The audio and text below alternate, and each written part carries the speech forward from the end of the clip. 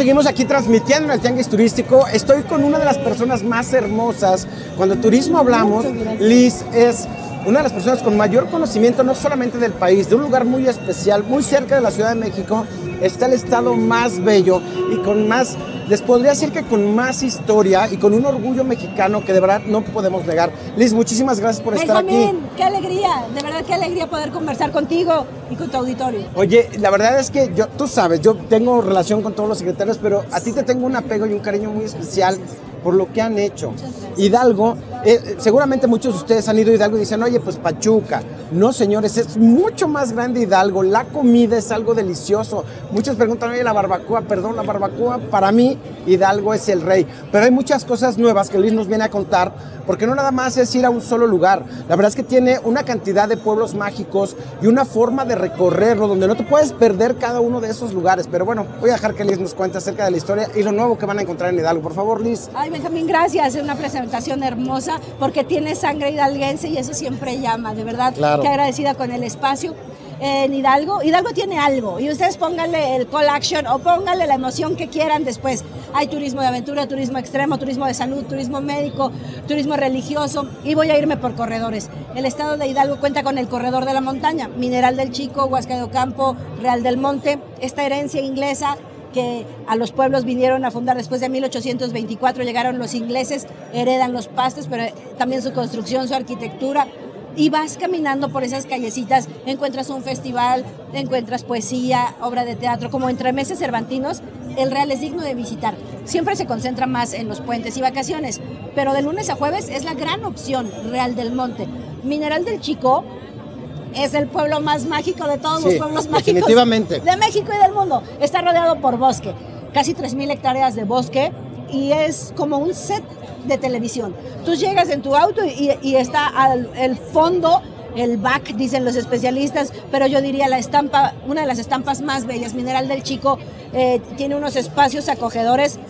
Me podría rescatarlo, no hay ambulantes, se come rico, eh, todo está en el cafecito, las, las cabañas con chimenea, puedes asar tu bombón y puedes caminar y encuentras bugambilias colgante.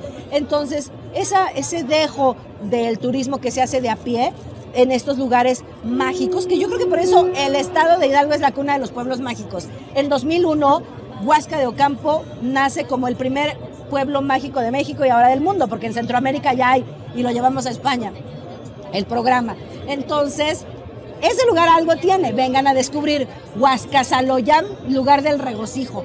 Eh, hay haciendas, hay hoteles temáticos, el centro está lindísimo, hay actividades para hacer tu propio pieza de barro en el taller del alfarero, para poder hacer el taller del rompope, porque en Huasca está la primera hacienda que Hernán Cortés da al primo y entonces este territorio, y hablando de haciendas, tenemos 200 haciendas, muchas de ellas no son turísticas o no las visitan porque la gente vive ahí. Así es. Pero es una página al pasado. Haciendas, eh, que le llamamos ex haciendas pulqueras, pero yo le llamo haciendas porque son una hacienda.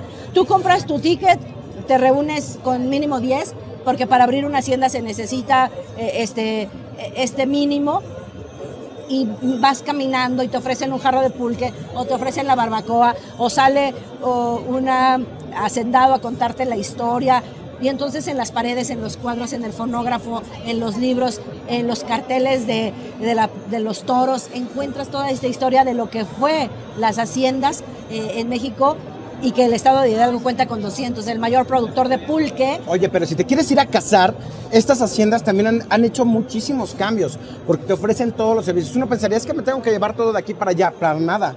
La verdad es que el tema de bodas en Hidalgo es algo, puedo decir que es único lo que están logrando, porque han hecho cosas impresionantes en torno a esto, porque también tienes no solo los coches, también tienes la comida, ahora hospedan a la gente un día antes. O sea, las bodas cuando se van para Hidalgo duran hasta tres días. Recibes a la familia desde antes, les haces recorridos, haces experiencias. El tema de bodas y de romance en Hidalgo, la verdad es que lo están haciendo muy, muy bien. Benja, traes toda la información del estado de Hidalgo o fue a una boda. Yo quisiera platicarles muchísimo, pero efectivamente como lo toma eh, como retoma el tema de las bodas en Hidalgo, existe un programa que se llama Cásate conmigo y otro que se llama Turismo de Romance en el estado de Hidalgo. El estado de Hidalgo cuenta con haciendas maravillosas. Les voy a decir un nombre, Sotoluca con Z. Visítenla, vean las fotografías de las bodas que hay ahí y es verdaderamente, recuerdo que llegó y esta historia la pueden comprobar.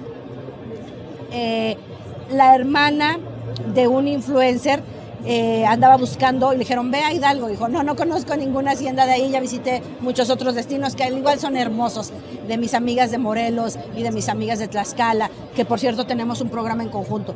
Llegó a Sotoluca, dicen que abrió el quemacoco y eh, dijo, aquí me quiero casar. Es ¿Sí? como un castillo es nuestro castillo. Y por dentro pueden ver Sotoluca, es un lugar maravilloso. Y como ella, bueno, San Miguel Regla, San Antonio, eh, San Miguel Regla, Santa María Regla, eh, eh, Pueblilla, otro nombre para casarse, San Juan Pueblilla. Son haciendas que rescataron, que hicieron en el, el enorme sacrificio de rehacer esas casas con este toque especial ahora para las bodas.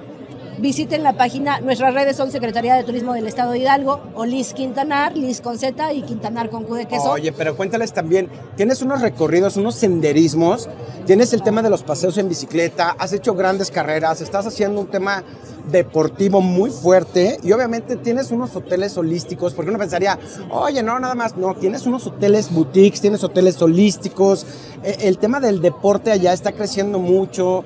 ¿Cómo estás haciendo todo este tema de senderismo? Tienes grandes opciones para que vayan en bicicleta. Veo muchísimas familias que se van a Hidalgo porque tus lugares son espectaculares y la verdad es que los, los están haciendo muy bien también. Muchas gracias, Benjamín.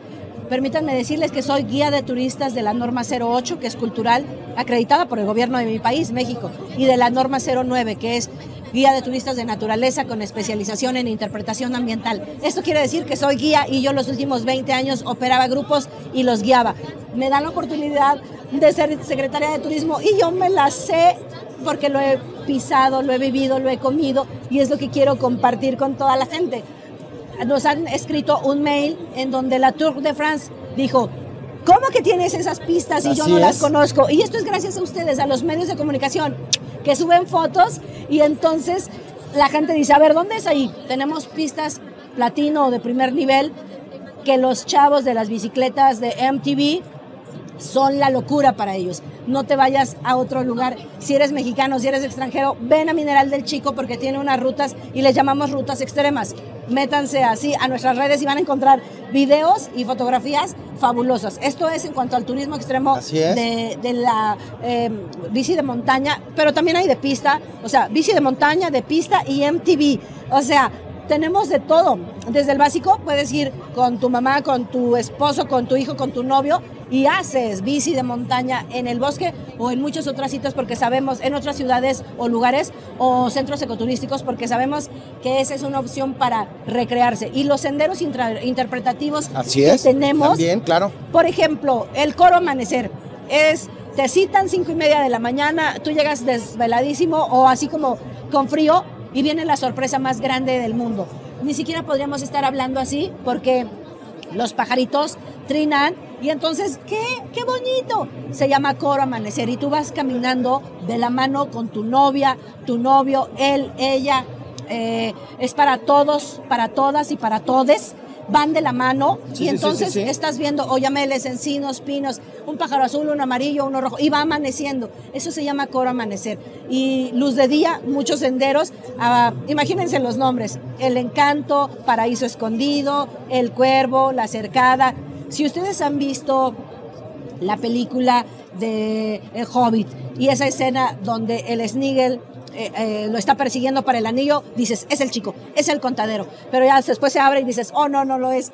Así es el mineral del chico, es por eso que tienen que venir a vivirlo. Entre rutas, senderos, unos, muchos productos turísticos. Vengan, por favor. Gastronomía, Liz. O sea, te está saltando la gastronomía. No, Ustedes son, eh, o sea, Hidalgo es, es algo muy padre porque dicen, ¿por qué sabe tan diferente la, la barbacoa o la ruta del pulque? Porque son muy orgánicos. Eh, están apoyando muchísimo a la gente que siga produciendo. Hidalgo se ha dedicado mucho a que estos corredores, la misma gente que está produciendo, no lo deje de hacer. Han dado apoyos económicos a las tierras, les han ayudado en el tema del agua, les han ayudado a hacer nuevas rutas. La verdad es que están trabajando muchísimo con el productor nativo de Hidalgo para que todo se siga produciendo. Por eso es que saben muy diferente los alimentos en Hidalgo. La verdad es que es algo muy orgánico. La ruta de la barbacoa nunca la van a poder terminar. La ruta del pulque menos, pero cuéntanos más acerca de la comida. Pues imagínense, en, eh, en la República Mexicana ha habido dos concursos que se llama ¿A qué sabe la patria? 600 platillos desde esta punta a punta. Dos concursos, Hidalgo lo ha ganado dos veces. Por eso tienen que venir a Hidalgo. Hay un dicho, todo lo que camina, corre y vuela va para la cazuela. El 1 y 2 de abril vengan a Santiago de Anaya, es un pueblecito que está a 30 eh, minutos 25 de Pachuca y se realiza eh, una feria gastronómica desde hace este año 42 años. Escamoles, gusanos de maguey, chinicuiles, víbora, coyote, tlacuache, eh, flores de madroño, flores de sábila, shawis, hormigas chicatanas, todo lo que nosotros tenemos de insecto, de flores y de animales, que por supuesto tú dirías conejo, no es eh, se da en la tierra, era nuestra comida prehispánica y es una feria que ustedes tienen que conocer. 1 y 2 de abril, Santiago de Anaya, 40, cuadragésima segunda feria de la comida gastronómica prehispánica. No existe en ningún lugar y así como eso está distribuida, como bien decía Benja, entre el pulque, la barbacoa que los borregos caminan en largos pastizales. Así es. No generan grasa porque no están quietitos comiendo alimento. Sabe a mantequilla. Es maravilloso. Pueden pedir medio kilo o un taco de barbacoa o de panza de barbacoa con una salsa verde, roja o de chile guajillo, de chile mora, espectacular. La barbacoa de Hidalgo es la mejor del mundo. ¿A qué sabe la patria? Dos de dos, algo estamos haciendo bien en, Hidalgo gastronómicamente, pero lo que debemos hacer es resaltar a nuestras cocineras y cocineros tradicionales, vénganles a comprar. Hay cocinitas que han hecho que se llama así, la cocina de penca de Doña Porfis, la cocina de penca de Doña Claudia, la cocina de penca de Doña Marta. Son las ganadoras, porque una fue un colectivo y otra fue solita. Entonces, ellas, las que ganaron el concurso, cocinan para usted. Santiago de Anaya, cocineras tradicionales de Hidalgo, vengan a hacerle reverencia a su comida. Y no por nada, ha sido ahí eh, la feria más grande de pueblos mágicos, la feria internacional ahora de pueblos mágicos ha llevado en Hidalgo. Créanme que si todo el mundo lo está haciendo en Hidalgo, hay, hay que voltear a verlo. Sobre todo que les queda muy cerca, los que vienen de la Ciudad de México, les queda muy cerquita. Estamos hablando de 40 minutos, una hora, y pueden llegar de cualquier parte, pero además no van a saber qué visitar. Es más, un fin de semana no es suficiente, un fin de semana por pueblo mágico, porque seguramente van a tener que regresar. Pero bueno, Liz, muchísimas gracias. Por favor, las redes sociales para despedir el programa. Siete pueblos mágicos. Hidalgo tiene algo, tienes que venir a descubrirlo. Todo lo que escucharon aquí está en las redes sociales Secretaría de Turismo del Estado, pero además googleen turismo en Hidalgo y seguramente saldrá una opción. Los vamos a recibir con los brazos abiertos. Nuestro mercado potencial es Ciudad de México y Estado de México. Nos sentimos de ustedes, del resto del país y bueno, los internacionales que llegan se sorprenden. Denos la oportunidad de tenerlos como turistas de dos noches o de tres en el estado de Hidalgo. Se van a sorprender. Benjamín, gracias. Muchísimas gracias, Alicia. Amigos, recuerden a toda la gente que nos ve Centroamérica, Colombia, Puerto Rico, que sigue la revista Selecciones, también ahora Descubre México. Ahí van a encontrar toda esta información. Los esperamos aquí en México y la verdad es que Eli nos va a tratar de la mejor manera, una de nuestras favoritas dentro del sector turístico. Muchísimas gracias, no se vayan, seguimos en el Tianguis, regresamos.